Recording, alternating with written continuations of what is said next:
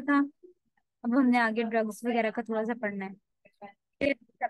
पढ़ेंगे हम ड्रग्स का पढ़ेंगे रिसेप्टर्स कौन कौन से थे ये पढ़ेंगे ठीक है? और ये चैप्टर हम एंड करेंगे आज इंशाल्लाह। ठीक है? यहाँ से मैं आपको बुक के भी दिखा देती हूँ। ऑटोनॉमिक रिसेप्टर्स से? लिपन कोड से। कैटजिंग से कैटजिंग से। पेज नंबर लास्ट टाइम जहाँ पे छोड़ा था ना हमने वहाँ से हमने स्टार्ट करना है आज। लास्ट टाइम मैंने आपको यहाँ तक पढ़ा दिया था। और इसके आगे ऑटोनॉमिक रिसेप्टर्स का टॉपिक स्टार्ट होता है, वो हम आज पढ़ेंगे। ठीक है ऑटोनॉमिक रिसेप्टर्स क्या होते हैं? यहाँ से लेके हम इस इस चैप्टर के एंड तक जाएँगे। होप सो ठीक है, अब ये जो है ना, यहाँ पे थोड़ा सा उन्होंने गिटमिट करके लिखा हुआ पहले हम अपनी स्लाइड्स थोड़ी सी देख लेते हैं कि ऑटोनॉमिक नर्वस सिस्टम के अंदर हमारे पास जो कोलिनर्जिक ड्रग्स हैं, वो कौन कौन से रिसेप्टर्स पे एक्ट करती हैं, किस तरह के रिसेप्टर्स होते हैं, थोड़ा सा ओवरव्यू लेना हमने। तो उसमें हम सबसे पहले देखेंगे कि जो पैरासिम्पैथेटिक नर्वस सिस्टम होता है, एक हमारे पास और एक हमारे पास सिंपैथेटिक नर्वस सिस्टम होता है, ठीक है? पैरासिम्पैथेटिक नर्वस सिस्टम जो होता है, हमारे पास वो क्या होता है? हमने पढ़ा हुआ है कि पैरासिम्पैथेटिक नर्वस सिस्टम हमारे पास इस तरह का सिस्टम होता है जो हमारा रेस्ट और डाइजेस्ट का सिस्टम है, ठीक है? इसका दूसरा नाम है हमारे पास रेस्ट एंड डाइजेस्ट सिस्टम ठीक है? इसमें बेसिकली हम क्या करते हैं जी? जितना भी हमारी बॉडी रेस्ट की कंडीशन में होती है, ठीक है, और डाइजेशन का काम हो रहा है वो हमारे पास पैरासिम्पैथेटिक नर्वस सिस्टम के अंदर होता है, ठीक है? तो अगर हमारे पास इसके, कह लो कि थोड़े से फ़ंक्शन हम देखेंगे पैरासिम्पैथेटिक नर्वस सिस्टम का फ़ंक्शन कौन कौन सा होता है तो इसमें हमारे पास आ जाता है कि हार्ट रेट जो होता है हमारा वो डिक्रीज होता है, ठीक है? पैरासिम्पैथेटिक नर्वस सिस्टम जो होता है वो हमारे पास एक्ट करता है हार्ट रेट को डिक्रीज करने में। उसके अलावा जे ट्रैक की जो टोन होती है, वो इंक्रीज होती है डाइजेशन का सिस्टम इंक्रीज होता है, ठीक है? यूरिनरी स्फिंक्टर जो होता है, वो रिलैक्स होता है विजो डायलेशन का प्रोसेस होता है बीपी हमारा कम हो जाता है, ठीक है? पैरासिम्पथेटिक को आपने सिर्फ़ एक वर्ड से याद रखना है रेस्ट एंड डाइजेस्ट ठीक है? सिस्टम कौन सा है? रेस्ट का सिस्टम है और डाइजेस्ट का सिस्टम है। ठीक है? उसके बाद हमारे पास ये देखिए, यहाँ पे उन्होंने लिखा बॉडी का रिस्पॉन्स आपका किस तरह का आएगा? पैरासिम्पैथेटिक में रेस्ट और डाइजेस्ट का आएगा। डायलेशन ऑफ़ ब्लड वेसल्स हो जाएगा हार्ट रेट डिक्रीज हो जाएगी डाइजेस्टिव एंजाइम सिक्रेट होंगे स्मूथ मसल्स जो होंगे वो कंस्ट्रिक्ट हो जाएँगे स्वेट ग्लैंड जो होंगे उनके सिक्रेशन इंक्रीज हो जाती है, ठीक है? कूलिंग का प्रोसेस होता है। स्मूथ मसल्स जो होते हैं वो हमारे कॉन्ट्रैक्ट कर जाते हैं। इसके अलावा स्मूथ मसल जो स्केल्टल सिस्टम करते हैं, वो भी हमारे पास कॉन्ट्रैक्ट कर जाते हैं, ठीक है? तो ये हमारी बॉडी का रिस्पॉन्स होता है पैरासिम्पैथेटिक नर्वस सिस्टम के अंदर। अब हमारे पास जो मेन टॉपिक है, हमारा कोलिनर्जिक रिसेप्टर्स कितनी तरह के होते हैं कौन कौन तरह के होते हैं? अब यहाँ पे देखेंगे ना, आपको यहाँ पे नज़र आएगा। acetylcholine receptor subtypes were named after the alkaloids originally used in their यहाँ से हमने करना है। हमारे पास दो तरह के रिसेप्टर्स हैं मेनली ठीक है? हमारे पास मस्क्रीनिक रिसेप्टर है और हमारे पास निकोटिनिक रिसेप्टर्स हैं, ठीक है? मस्क्रीनिक रिसेप्टर्स जो होते हैं हमारे पास और निकोटिनिक रिसेप्टर्स जो हैं हम उन्हें किस टर्म में जो है वो यूज़ करते हैं? तो आपके पास बिल्कुल आगे लिखा हुआ है in the case of receptor associated with noradrenergic nerves ठीक है? अगर आपने नॉर एडिनर्जिक नर्व्स के बारे में बात करनी है तो हम एक ही टर्म यूज़ करते हैं जिसको हम कहते हैं एडिनो रिसेप्टर ये टर्म हम जो है ना वो कलेक्टिवली यूज़ कर लेते हैं, ठीक है? अगर आपने मस्क्रीनिक और निकोटिनिक को इकट्ठा बताना है तो आप उनको कोलिनो रिसेप्टर कह सकते हैं, ठीक है? कोलिनो सेप्टर जो है वो हमारे पास इसमें दो तरह के रिसेप्टर आते हैं मस्क्रीनिक भी और निकोटिनिक भी। आप कह सकते हैं कि मस्क्रीनिक और निकोटिनिक कोलिनो रिसेप्टर की टाइप्स हैं, ठीक है? कोलिनो रिसेप्टर कोलिनो सेप्टर जो है हमारे पास एक टर्म है, जो कि टाइल कोलिनी को रिस्पॉन्ड करते हैं। उसमें हमारे पास मस्क्रीनिक रिसेप्टर आते हैं और उसी में हमारे पास निकोटिनिक रिसेप्टर आते हैं, ठीक है? अब हमारे पास जो है ना वो दो तरह के एड्रीनर्जिक रिसेप्टर्स हैं और कोलिनर्जिक रिसेप्टर्स हैं ठीक है?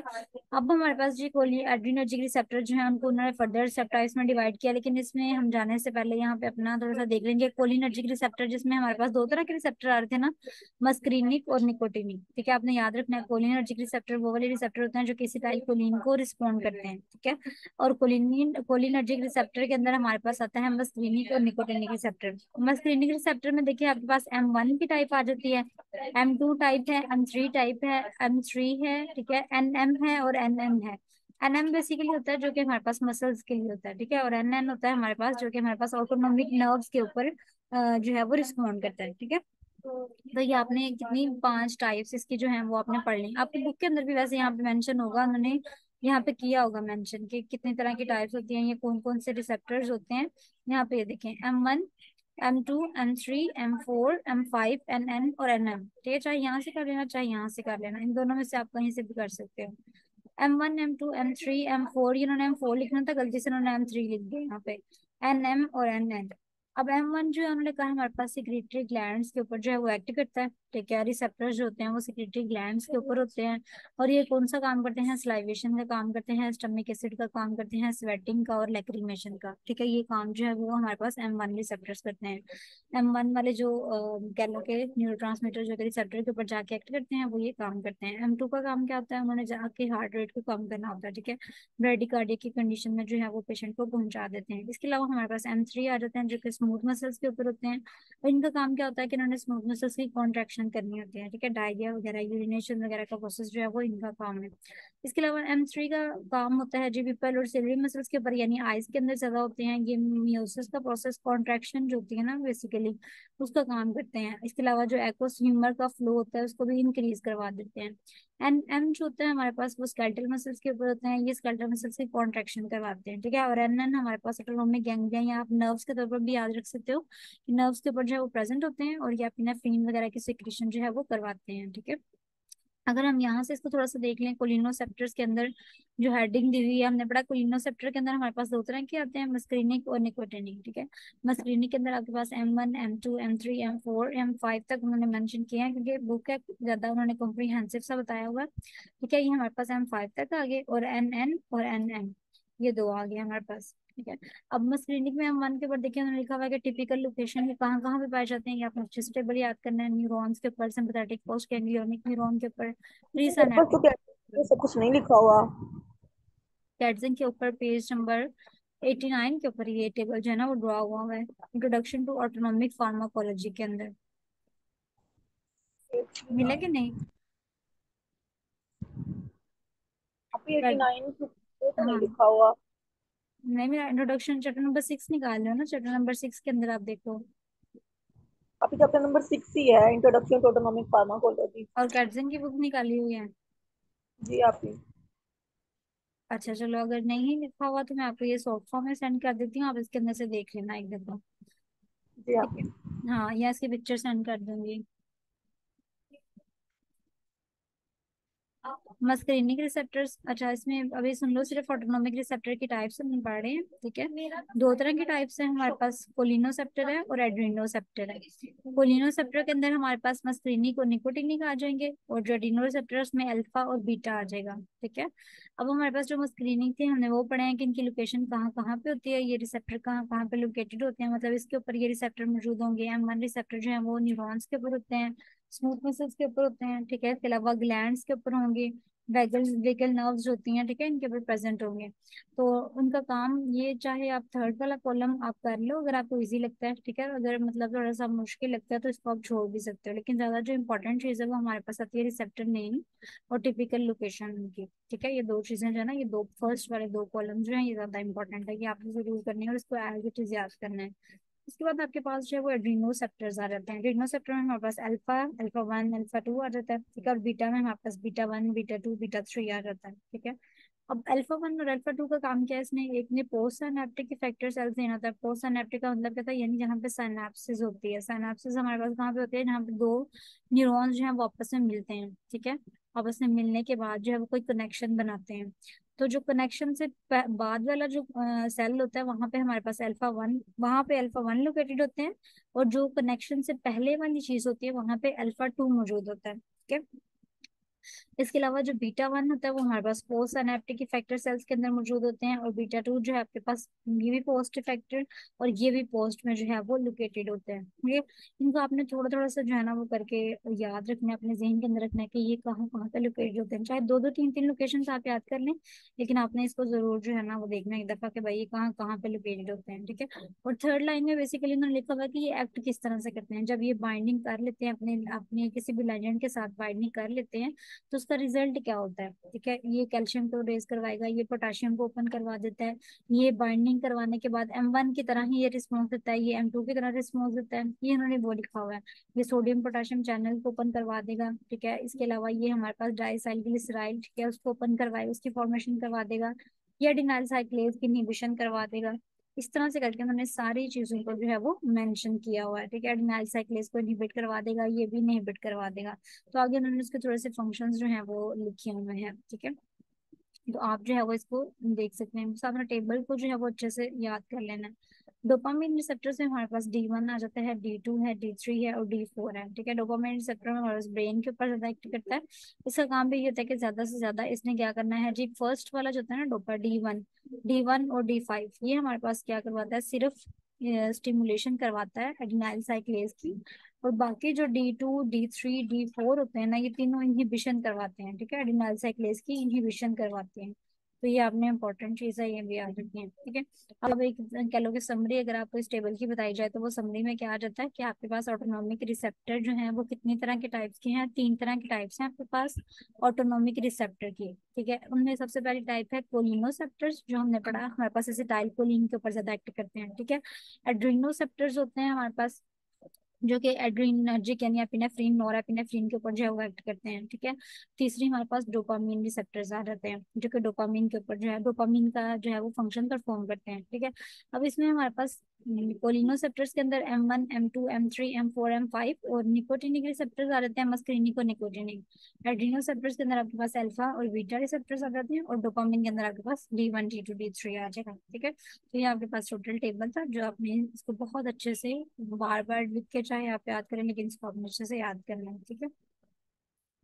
उसके बाद आपके पास ये टॉपिक है सेंट्रल इंटीग्रेशन वाला, इसको जस्ट आप स्किप भी कर दें तो कोई मसला नहीं है। इंटीग्रेशन ऑफ़ कार्डियोवास्कुलर फ़ंक्शन है, ये भी इतना इंपॉर्टेंट नहीं है आपके लिए।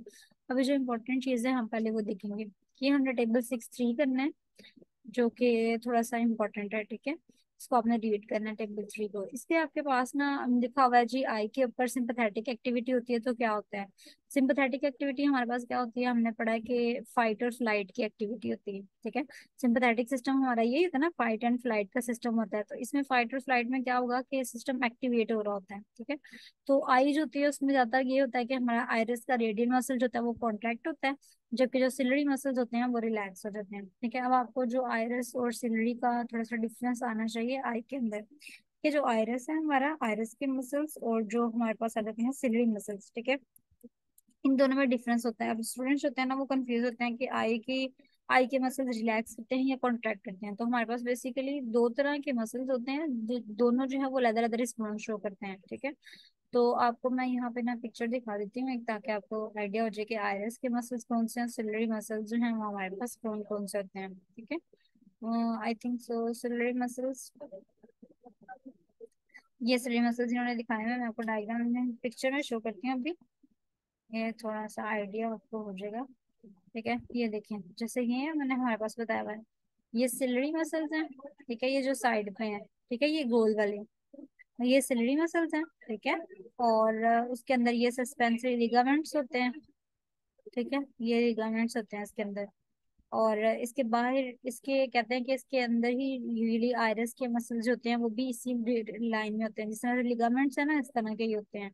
तो हमने क्या पढ़ा कि हमारे पास ये चीज़ है, वो कहते हैं जो जो आई होती है उसके अंदर सिंपथेटिक एक्टिविटी की ये एक्टिविटी होती है, जो रेडियल मसल्स होते हैं वो कॉन्ट्रैक्ट कर जाते हैं और जो सिलरी मसल्स होते हैं ना वो रिलैक्स कर जाते हैं, ठीक है? सिलरी मसल्स ने रिलैक्स करना होता है, ये जैसे पहली वाली कंडीशन होती है ना, इसमें सिलरी मसल्स रिलैक्स कर जाते हैं और जो आयरस वाले मसल्स होते हैं, ये जो आपके अंदर है, ये कॉन्ट्रैक्ट कर जाते हैं, ये आपके पास सिंपथेटिक एक्टिविटी में ऐसे होता है। और जो पैरासिम्पथेटिक होती है, उसमें इस तरह से होता है। जो सिलरी मसल्स होते हैं, वो हमारे पास कॉन्ट्रैक्ट कर जाते हैं, ठीक है? और जो आयरस मसल्स होते हैं, वो आपके पास रिलैक्स कर जाते हैं। तो इस तरह से करके आपके पास सिंपथेटिक और पैरासिम्पथेटिक एक्टिविटी जो है, वो चलती है। अब आपने बच्चे कंफ्यूज रहते हैं कि सिलरी मसल्स कॉन्ट्रैक्ट कर रहे हैं तो ये इतना मतलब थिक सा फाइबर क्यों नज़र आ रहा है? तो ये इसी वजह से थिक हो रहता है, क्योंकि वो कॉन्ट्रैक्ट कर जाते हैं। जब वो कॉन्ट्रैक्ट करते हैं तो वो इस तरह की शेप जो है, उसकी आना शुरू हो जाती है, ठीक है? जब वो रिलैक्स करते हैं तो वो थोड़ा बड़ा हो जाता है, ठीक है? कह लो कि ऐसे प्रोलोंग हो जाता है तो वो रिलैक्स करता है। जब वो कॉन्ट्रैक्ट करने लगता है तो इस तरह सुकड़ जाता है, छोटा हो जाता है और मोटा हो जाता है, ठीक है? तो ये कंफ्यूज ना कि ये जरा थिक है तो ये हमारे पास रिलैक्स किस तरह से किया हुआ है या कॉन्ट्रैक्ट किस तरह से किया हुआ है? आपने जो चीज़ याद रखनी है वो ये याद रखनी है कि जब आपकी सिंपथेटिक एक्टिविटी होगी तो आपका आयरस मसल कॉन्ट्रैक्ट करेगा और जो सिलरी मसल होगा वो आपके पास रिलैक्स करेगा। ठीक है? ये हमारे पास आई की एक्टिविटी है सिंपथेटिक पैरासिम्पथेटिक में जारी बात है, इससे ऑपोजिट एक्शन जो है वो शो होता है। हार्ट की एक्टिविटी ये होता है कि हार्ट जो है वो तेज़ी तेज़ी से काम करना शुरू कर देता है, जबकि पैरासिम्पथेटिक में रेस्ट और डाइजेस्ट की कंडीशन है हार्ट डिसलरेट हो जाता है। ब्लड वेसल्स में अगर हम देखें तो स्किन की जो होती है वो कॉन्ट्रैक्ट करती हैं यूजली ठीक है? और इस तरह से करके आपने हल्का हल्का इसका ओवरव्यू लेना है, ठीक है? जीआई ट्रैक देखें, आपका वॉल जो होती है वो रिलैक्स करती हैं जबकि स्फिंक्टर्स जो होते हैं, वो कॉन्ट्रैक्ट कर जाते हैं। ये साथ उन्होंने लिखा हुआ कि इसके लिए कौन कौन से रिसेप्टर रिस्पॉन्सिबल होते हैं? Alpha beta two M three आपको ना एम सी क्यूज में चीज़ें आ सकती हैं। इस तरह से मैं आपको ये टेबल जो है, वो एक दफ़ा ओवरव्यू करवा रही हूँ because MCQs point of view से बहुत ज़्यादा इंपॉर्टेंट है, ठीक है? ब्लैडर वॉल है, वो रिलैक्स कर जाती है, जी सिंपैथेटिक में, जबकि उसके स्फिंक्टर जो होते हैं, वो कॉन्ट्रैक्ट कर जाते हैं। स्किन में अगर हम देखें तो स्वेट ग्लैंड्स होते हैं इक्राइन जो जितने भी ग्लैंड होते हैं हमारे पास, उनकी सिक्रेशन जो होती है, वो इंक्रीज हो जाती है, ठीक है, जब फाइट और फ़्लाइट होती है, और इसमें उसका कोई इफ़ेक्ट इतना नेग्लिजेंस इफ़ेक्ट है, ठीक है? ये टेबल आपने एक दफ़ा देख लेना। ताकि हमारा अगर कोई एमसीक्यू आता है तो वो हम इसलिए अटेम्प्ट कर सकें, ठीक है? अब ये जो पॉइंट है ना प्री सैनेप्टिक रेगुलेशन ये भी कोई इतना इंपॉर्टेंट पॉइंट नहीं है, ठीक है? इसको जस्ट अगर आप रीड कर लें अपनी, के इसके अंदर से कुछ आना चाहे तो वो और बात है, लेकिन ये इतना इंपॉर्टेंट नहीं है, ठीक है? इसको इतना हार्ड मतलब पढ़ने की ज़रूरत नहीं है। उसके बाद आपके पास जो चीज़ इंपॉर्टेंट है, ये इनहिबिटरी इफेक्ट्स क्या क्या आते हैं इसके? और एक्साइटेटरी इफेक्ट्स ठीक है? इसको जस्ट रीड करना है, याद नहीं करना है इसको आपने। अब जो इम्पोर्टेंट चीज़ हम पढ़ने लगे अभी तक मैंने आपको दो इम्पोर्टेंट टेबल्स पढ़ाए हैं, ठीक है, जिनको आपने मतलब अच्छे से पढ़ना है। एक आपके पास जो टेबल था, वो ये था, जो कि बहुत इंपॉर्टेंट है, ठीक है, जिसको आपने बहुत रट्टा लगा के याद करना है, ठीक है मेजर ऑटोनोमिक रिसेप्टर टाइप्स इसको आपने अच्छे से पढ़ना है, बहुत अच्छे से पढ़ना है। और जो ये वाला टेबल है, इसको आपने और एमसीक्यूज के पॉइंट ऑफ़ व्यू से देखना है कि आपके एमसीक्यू से कराते हो तो आप थोड़ा सा अटेम्प्ट कर सकें, ठीक है। और जो थर्ड वन वाला है, उसको जस्ट आपने कह लें कि एक ओवरव्यू लेना है। कि ठीक है, ऐसे एसिटाइलकोलिन के लिए, क्योंकि ये याद नहीं होता, अगर मैं कहूँ कि मैं आपको, आपसे ये याद करवाऊँ, आपने जस्ट इसका फ़र्स्ट कॉलम जो है ना फ़र्स्ट कॉलम ये याद कर लेना है। जस्ट सेकंड और थर्ड बेशक छोड़ दें। सिर्फ़ फ़र्स्ट में के इनहिबिटरी इफेक्ट्स कौन कौन से हमारे पास एसिटाइलकोलिन के आ रहे हैं, ठीक है? वो आपने थोड़ा सा एक दफ़ा देख लेना कि एसिटाइलकोलिन इनहिबिटरी इफेक्ट्स दे रहा है एसिटाइलकोलिन एक्साइटेटरी इफेक्ट्स भी दे रहा है, ठीक है?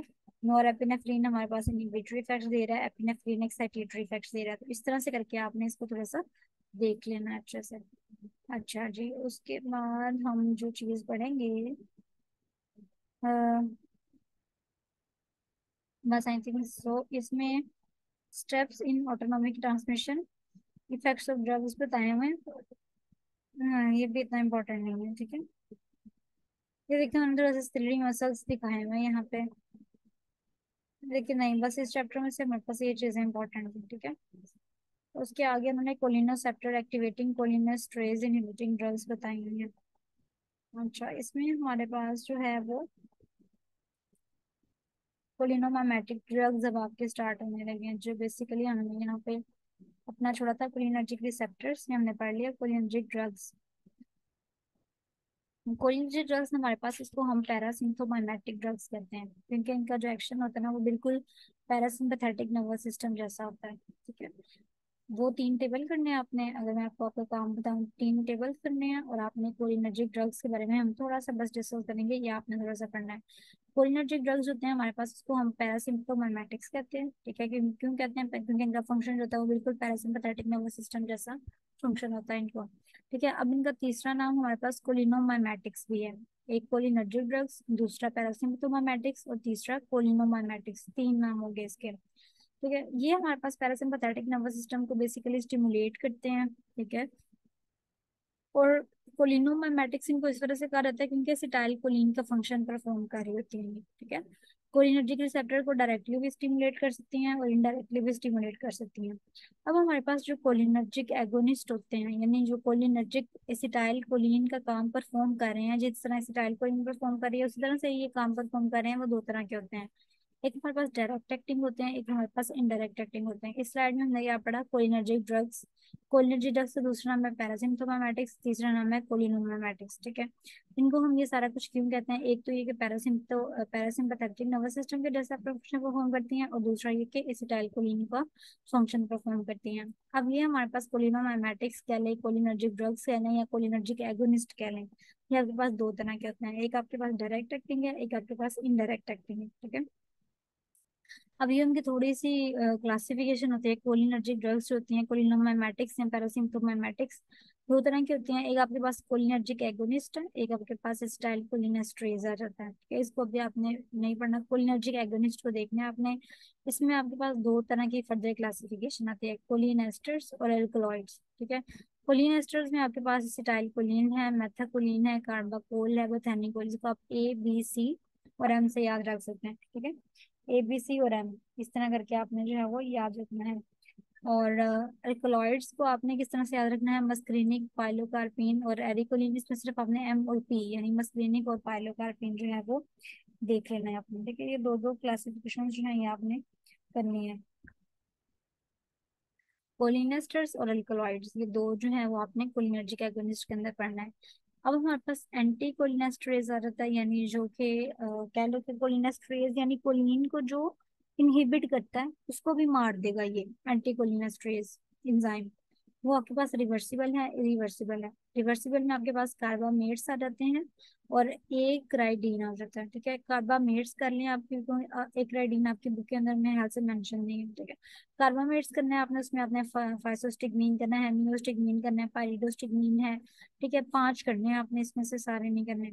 और कार्बामेट्स दूसरे वाले में कार्बाराइल है और ऑर्गेनोफॉस्फेट में आपने दो नाम करने हैं इकोथायोफेट और मेलाथायोन ठीक है? ये दो नाम आपने करने हैं बस इसमें से। आपका काम मेनली यही है कि आपने ये कोलिनर्जिक ड्रग्स की जो क्लासिफिकेशन है ना, वो बहुत अच्छे से याद करनी है, ठीक है? कोलिनोमेमेटिक्स एंड पैरासिम्प्टोमेटिक्स से क्लासिफिकेशन करनी है, ठीक है? मैंने कल सबसे पहले क्लासिफिकेशन सुनी है, फिर हम आगे मूव करेंगे, ठीक है? और हम इसके जो है ना, वो नेक्स्ट अभी हम नहीं पढ़े, हमने बस आपको आज का होमवर्क क्योंकि आपने वो टेबल्स और ये क्लासिफिकेशन वाला टेबल इतने अच्छे से याद करना है कि मैं आपको कहूँ कि भाई आप सुनाए कोलिनर्जिक ड्रग्स की क्लासिफिकेशन तो आपको मतलब फट फट जो है वो ये सारी क्लासिफिकेशन आए। जिस तरह से ये लिखी हुई है, उस तरह से ही अगर आप कैटजिंग के ऊपर से करना चाहते हैं तो आप कैटजिंग के ऊपर से भी इसको कर सकते हैं। मेरे ख्याल से उन्होंने कैटजिंग के ऊपर भी जो है ना, ये क्लासिफिकेशन दी हुई है। ठीक है। आई थिंक सो दी हुई है। मेरे ख्याल से शायद उन्होंने ना यहाँ पे कोई एनर्जी की क्लासिफिकेशन दी है राइट